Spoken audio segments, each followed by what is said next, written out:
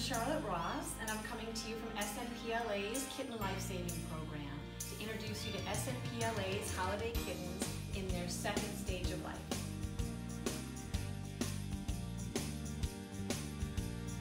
Menorah and Prancer are now in the gruel baby stage, which means they're transitioning from the bottle to solid food. So what we do is we mix the formula into the wet food, so it makes it easier for them to go from sucking to biting and chewing. And this is also the stage when they start using a litter box, so we need a lot of litter.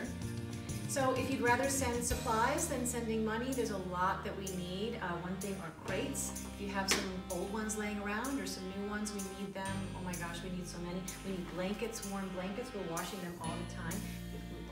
And then wet food, oh my gosh, we need so much wet food, as much as you can send in, any type of feeding bowls, we go through these, we need these. And of course KMR, which is what we use to bottle feed them and when we're transitioning from wet food. And then litter, we need lots of litter. we go through a lot of litter every year. You can help kittens like Menorah and Prancer go from a shelter to a forever home by shopping at SNPLA's Kitten Life Saving Amazon wishlist at snpla.org slash wishlist on Black Friday and Cyber Monday.